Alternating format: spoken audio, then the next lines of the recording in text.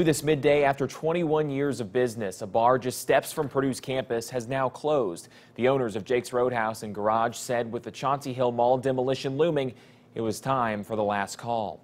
Owners at Jake's, Angie, Angie Brown says with the demolition and the construction in the area, it just became too much to keep their head above water.